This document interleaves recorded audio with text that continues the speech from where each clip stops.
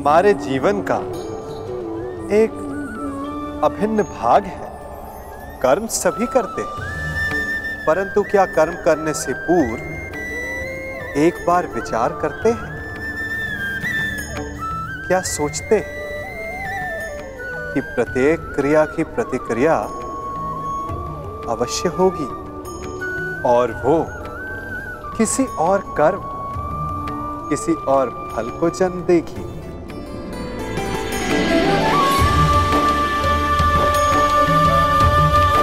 ये झूला एक बार झुलाओ तो लौट कर अवश्य आएगा। उसी प्रकार हमारे कर्म और उसके फल लौट कर आते हैं।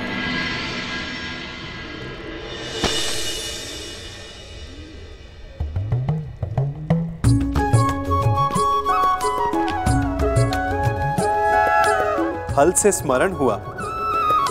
इस वृक्ष के आम बड़े मीठे हैं।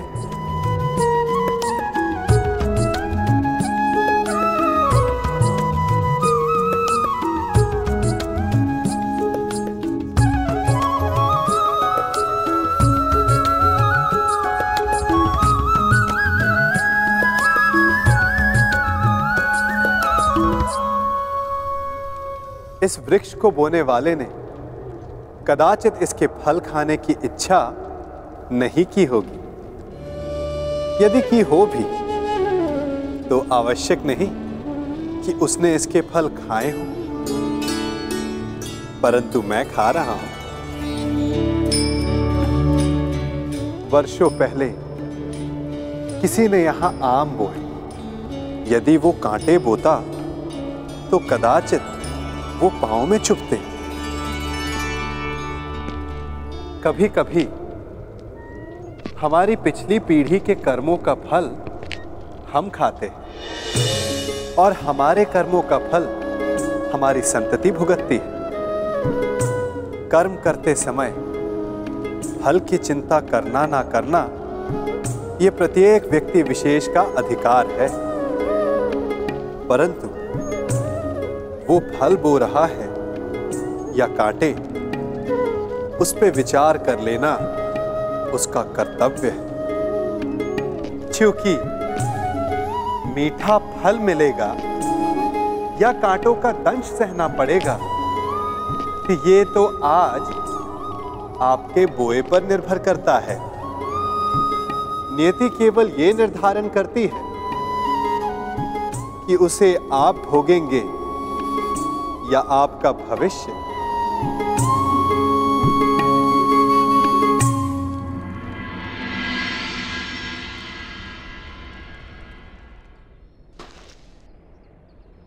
विवेक और धैर्य से काम लीजिए पांचाल नरेश। जिसकी पुत्री का मान और सम्मान दाव पर लगा हो। वो पिता धैर्य और विवेक से कैसे काम ले सकता है वसुदेव? आज आप बीच में नहीं आएँगे वसुदेव। आज पांचाल नरेश द्रुपद पर, एक नहीं। अपितु पाँच ब्रह्म हत्याओं का पाप लगना निश्चित है।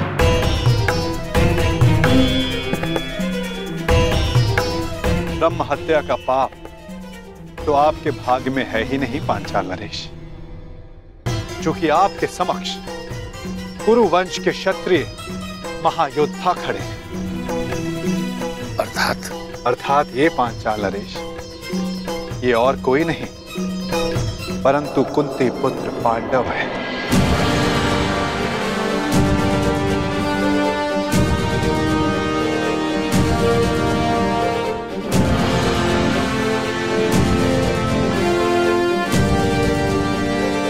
सबसे आगे खड़े। हैं, वो धर्मराज युधिष्ठिर है। और जिसने खेल खेल में वृक्ष उठाकर स्वयंवर में विघ्न डालने वालों का संहार किया वो महाबली भीम है। और उनके दो सहायक नकुल और सहदेव।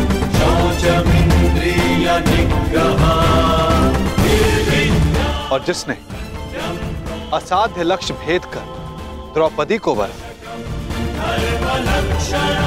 वो वही अर्जुन है पांचाल नरेश, जिसे दमाता के रूप में पाने की आपकी आकांक्षा थी।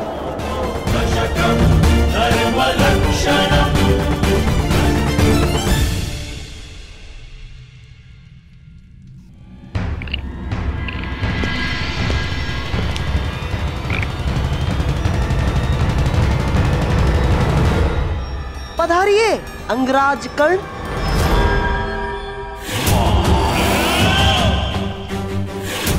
मित्र तुमने मुझे बुलाया। हाँ। यदि तुम भी यही पूछना चाहते हो कि मैंने उस ब्राह्मण युवक को जाने क्यों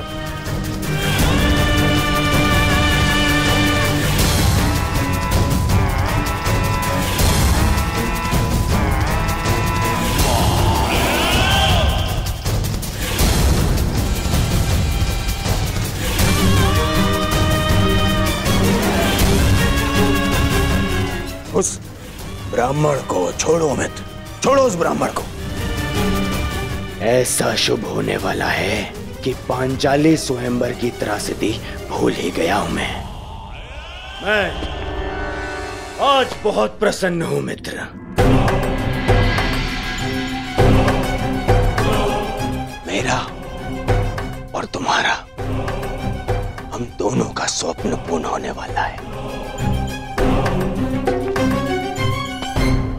मामा श्री ने ऐसा मार्ग खोजा है, जो मुझे, दुर्योधन को, तुरंत ही हस्तिनापुर का राजा बना देगा।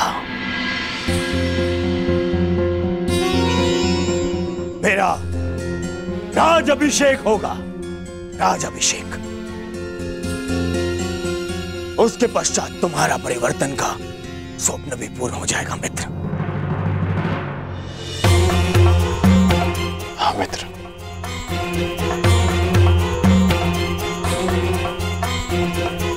परंतु मैं तुम्हें कुछ बताना चाहता हूँ कि आ, मेरे होने वाले सम्राट! अपनी प्रसन्नता अपने मित्र के साथ बाद में बांटना है? पहले अपने पिताश्री से तो मिलकर आओ। वो तुम्हारी कब से प्रतीक्षा कर रहे हैं? मित्र मैं अभी आता हूँ।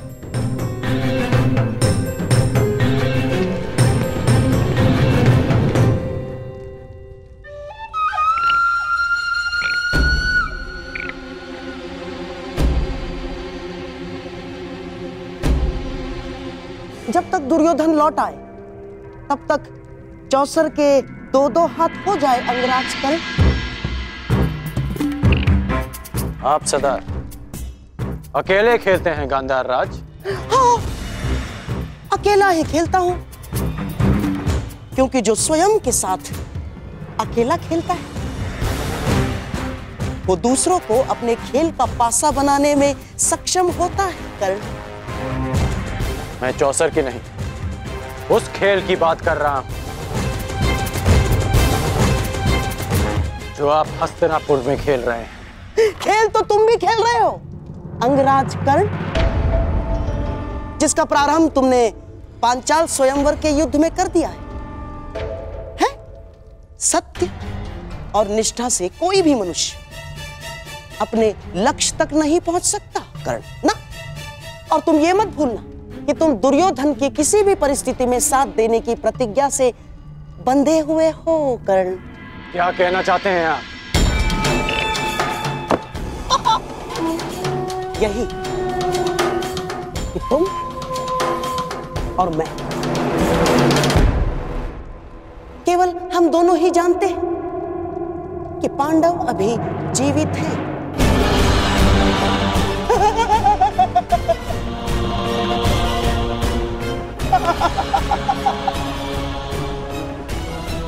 और यदि दुर्योधन को सम्राट बनते देखना चाहते तो ये सब किसी को ज्ञात नहीं होना चाहिए।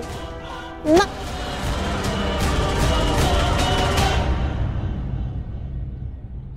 पांचाल नरेश पर ब्रह्म हत्या का दोष नहीं लगेगा। किंतु आप पाँचों आप पाँचों दोषी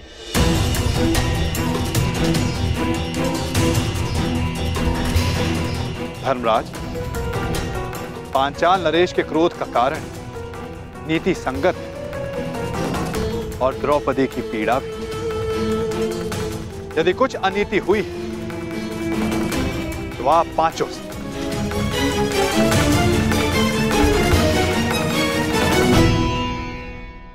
स्त्री कोई वस्तु नहीं जिसे बांट लिया जाए।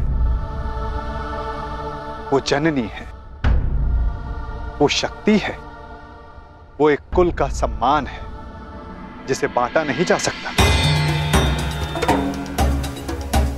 सर्वप्रथम, द्रौपदी को भिक्षा बताना सर्वथा अनुचित था।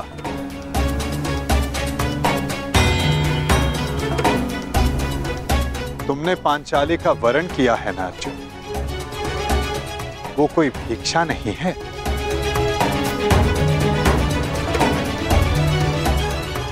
श्री। वचन सोच समझकर मुख से निकाले जाने चाहिए। अनुचित समय पर निकले अनुचित शब्द ब्रह्मास्त्र से भी अधिक विनाशक सिद्ध होते हैं। माता सदा चाहती है कि उसकी संतान प्रेम से रहे, परंतु बिना परिस्थिति जांचे। बिना परिणाम का आकलन किए कोई निर्णय सुना देना घातक सिद्ध होता है। संतान प्रेम में लिया गया अनुचित निर्णय कभी कभी सृष्टि का चक्र डगमगा देता है बुआश्री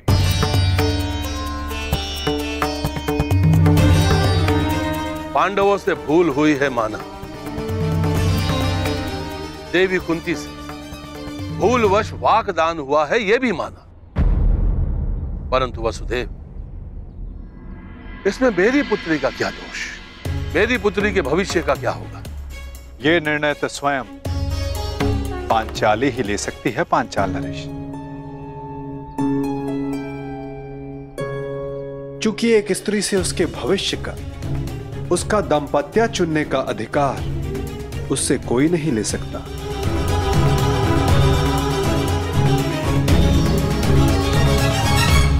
मुझे तुमसे सहानुभूति है सखी परंतु ये निर्णय तुम्हें स्वयं ही लेना होगा।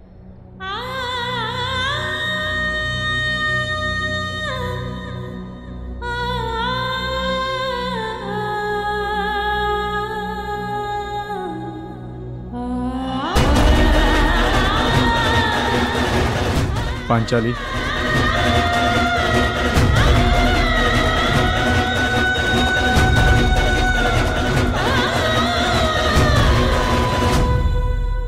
विश्वास है कर्ण कि तुम ना अपनी प्रतिज्ञा तोड़ोगे और ना ही दुर्योधन का स्वप्न। पूर्ण विश्वास। तुम कुछ कह रहे थे योद्धा की रणनीति के विषय में? एक सच्चा योद्धा युद्ध नीति का पालन करता है। वो ना कारण किसी से युद्ध करता है और ना किसी का अधिकार छीनता है। परंतु ये बात आप कैसे समझ सकते हैं?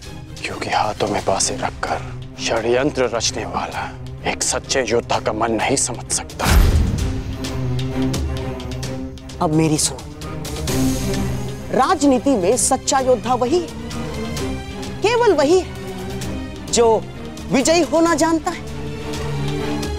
वो चाहे धनुष बाण से हो, शस्त्रों के संधान से हो, या चाहे मनुष्य की बुद्धि से हो। तो शकुनी को दुर्बल योद्धा समझने की भूल कभी मत कर बैठना। अंगराज कर्ण।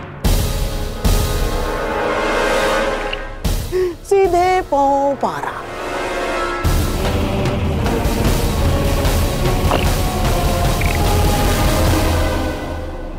तुम परास्त हो गए कर्ण।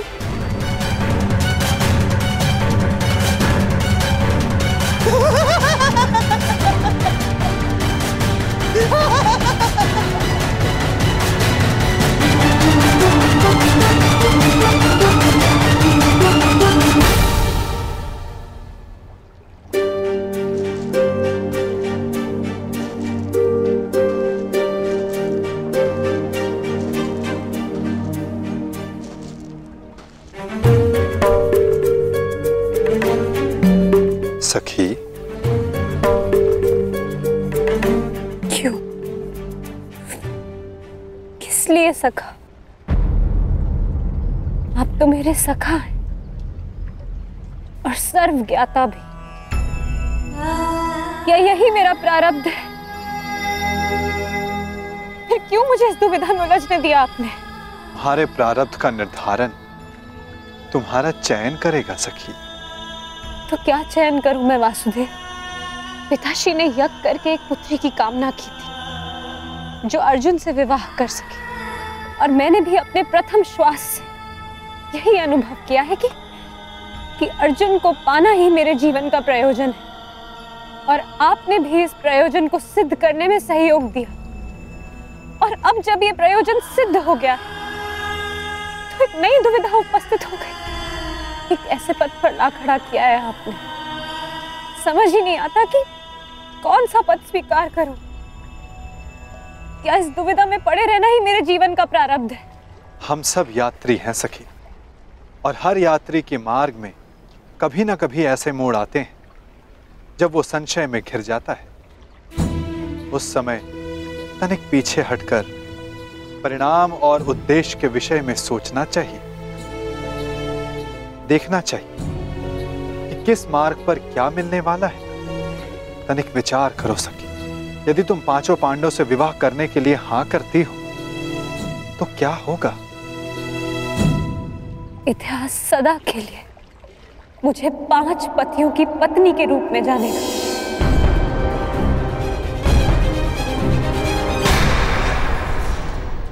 अपमान और उपहास का पर्याय बन जाएगा मेरा जीवन। और यदि तुमने केवल अर्जुन से विवाह किया तो? तो शेष चार संन्यास ले लेंगे।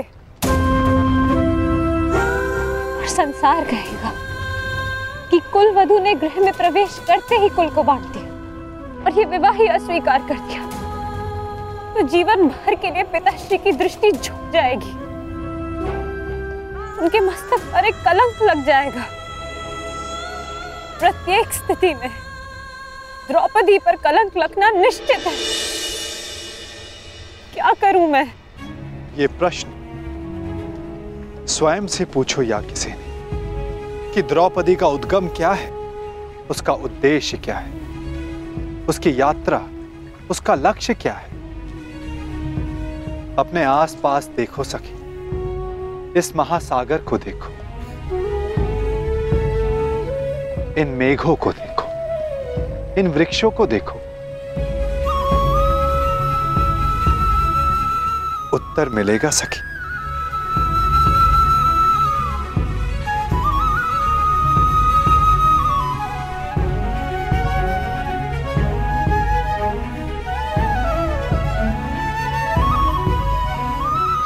तो क्या कहा इस महासागर ने? इस मेघ इन वृक्षों ने?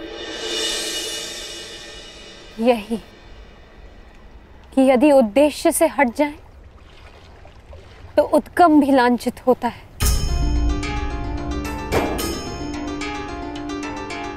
एक बूंद का उद्गम मेघ होता है और उसका उद्देश्य धारा को सींचना। यदि वो इसे अस्वीकार कर दे तो मेघ लांछित होगा।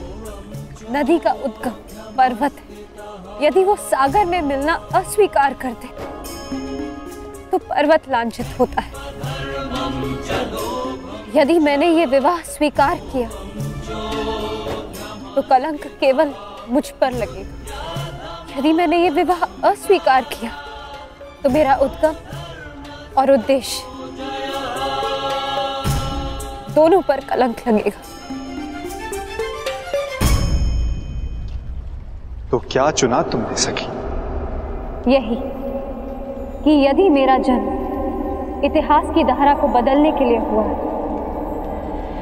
तो इतिहास बनना पड़ेगा मुझे। कदाचित इसलिए ही अग्नि मेरा उद्गम,